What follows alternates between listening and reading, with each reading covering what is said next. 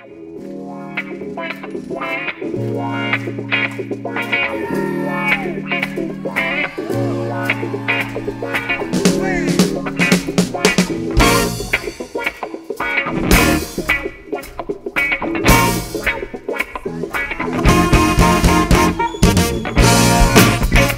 I'm Matt Taylor. Welcome to the Antique Photons Observatory Report.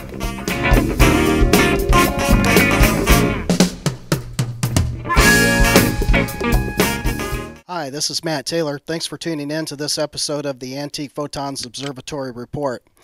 In this episode, I'm going to show you how to create an information frame for your DSI photos. The first step is to open your photo in Photoshop and check its size. This tutorial assumes that your image size is the standard 748 by 577. If not, you'll need to adjust for this. Next, select File and New to create a new document and give it a name. Then set its size to 800 by 700 pixels and make sure the pixel aspect ratio is set to square.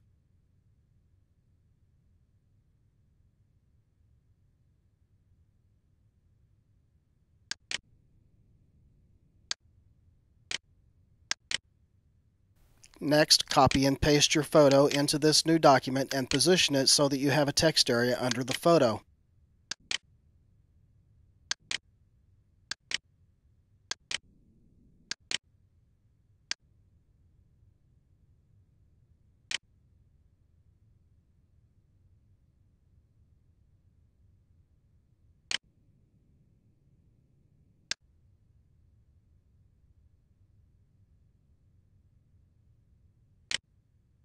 Next, make sure your photo's layer is highlighted, then select the Blending Options icon at the bottom of the Layers palette. From the Blending Options, select Outer Glow. In the Layer Styles dialog, set the blend mode to screen. Adjust the opacity while watching the changes in your photo. Under Elements, the technique should be set to softer. Adjust the spread and size to taste. At this point, you can play around with the settings on this dialog until you have the frame looking the way you want it. You can also click on some of the other styles to make interesting changes to how your photo is presented in the frame. When you're happy with the results, click OK to close the dialog.